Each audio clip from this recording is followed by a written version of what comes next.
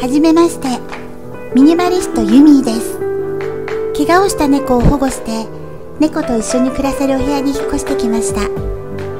今は6畳のワンルームで小さな暮らしをしています。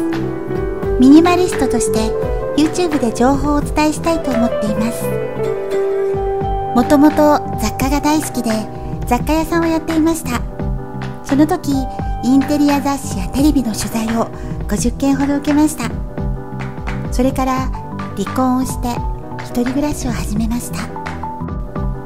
今は社員として働きながらもう一つお仕事をしています。でもたくさん働くことで自分の時間が少なくなってしまいました。